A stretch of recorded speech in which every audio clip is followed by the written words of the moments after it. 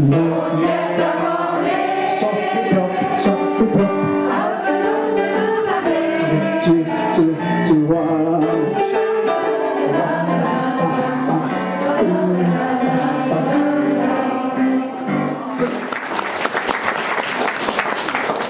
hjärtligt välkomna ska ni vara som sagt var till våran kick-off och vi är väldigt glada allesammans att det har kommit så många.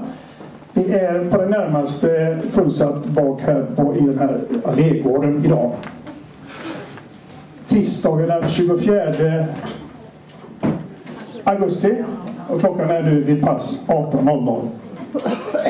Ehm, idag så ska vi då komma samman lite grann. Vi brukar göra så här att vi träffas och, och trivs tillsammans innan vi eh, börjar med våra köer. Ja, då var det äntligen dags för premiär på Hemgården med Sommarteatern Enkeman Jarl. Nu står de här bakom scenen samtliga skådespelare och eh, är ju den där lilla spända förväntan. Äntligen är man där.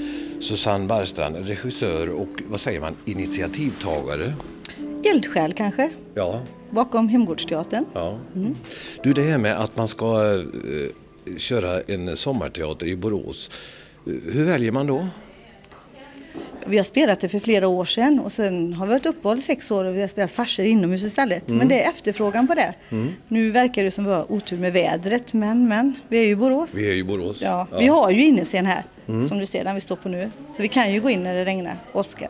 När samlades ni första gången inför det här? Vi började träna i januari men vi samlades i höstas. Det vet du, du skrattar. För vi, vi skulle spela en fars men vi fick inte uppförande rätt för den. Men vi höll igång ändå och träffades. Och, men vi började träna i januari månad. Hur får man tag på sådana här pjäser utan att det kostar 200-300 000 kronor? Ja, det kostar ju mycket. Det gör det ja. Vi lånar av Amatörteaterförbundet så får vi betala precis som man gör med skivor royalties för uppföranderätt och sådär. Så det vill ju till att det går ihop. ja. Är det bara fars som gäller här på sommarteatrarna eller? Nej, detta är ju folklustspel. Inga allvarliga grejer du funderar på så småningom? Vi har ju spelat allvarliga, Molière och Dario Fo och Ja. sånt där. Ja. Men folk vill se fars, verkar Ja. det som. De vill skratta och kul. Hur känns det nu då? Det känns jättebra. Vi är laddade. Ja, nu står jag med Enkeman Jarl här. Anders, eh, hur känns det? Jo då, det känns bra. Lite pirrigt som det alltid ska göra innan. Är du inne i rollen nu? Ja, det tycker jag.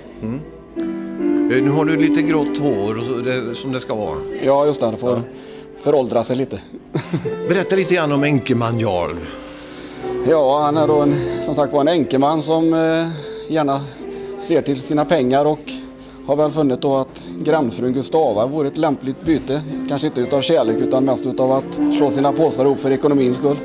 Och sen blir det lite intriger vem som ska betala detta. Sen blir det lite bråk om pengarna som båda är lika snåla och ekonomiska av sig. Har du varit med i denna förr?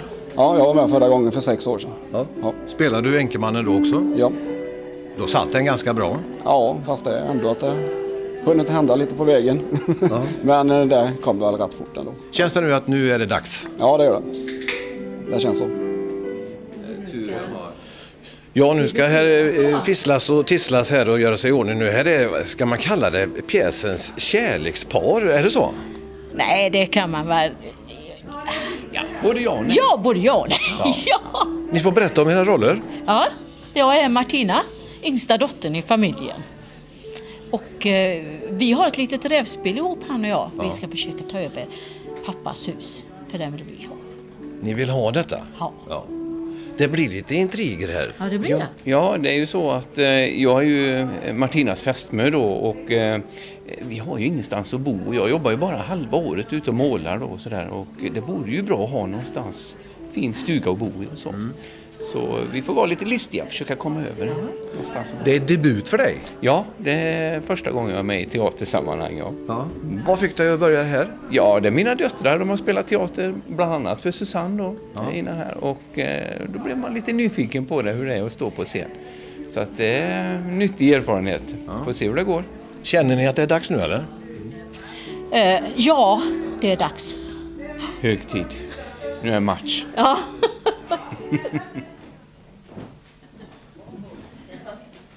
Jaha du, här springer söndagsfrämmat hos dig då. Ja, själv, själv fick jag bara för mig att titta in, jag hade vägarna förbi. Ja.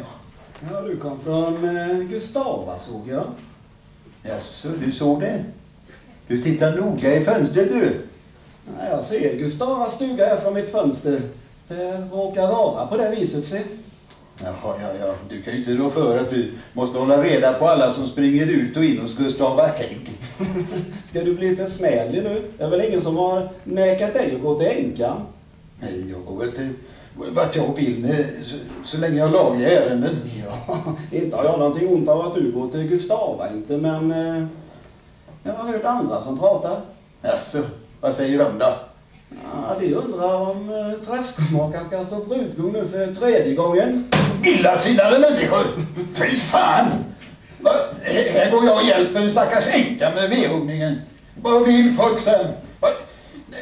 Är det nu synd och skam orätt att hjälpa en gammal änka med, med vedhuggningen?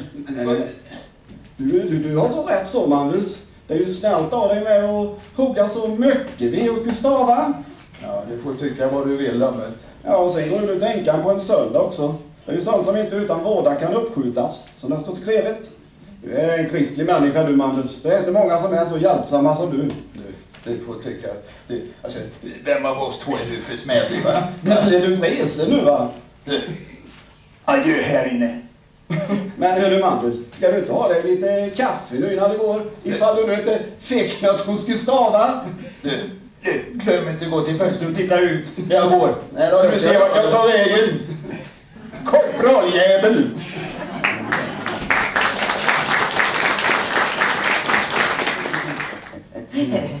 Han skalar potatis, ser jag. Jo, jag skalar på en gång till ett kok som ska räcka några dagar. Laga mat. Det är ingen syssla för manfolk. Ja, jo, det går väl an. En uträttar ju inget annat arbete under tiden. Det är förstås, det är förstås. Och han har gott om så han kan ta till. Han behöver inte spara på smulorna, ser jag. Ja, så tycker hon jag slösar. Nej, inte precis, men, men så tjocka skal. Ja, så tycker hon det, Gustava. Ja, inte utan. En kvinna skulle ta mycket tunnare skal. Jo, jo, jag är nog lite klumpig i näven. så- Här ska få se. Får jag låna? Ja, visst. Så här. Så här. Ja. Så här tunn ska en skära. Ja, det var märkligt. En sån skillnad. Ja, en kvinna kan spara mycket. Jo. Vad ett manfolk skaffar i ett hus, det ska kvinnfolken bevara. Jo, min Kristina, hon var aktsam. Hon... Ja, ja, ja, ja, ja. Hennes make får han aldrig. Nej, nu sitter jag här ensam med katten. Ja, ja, ja. En är ensam en lite var.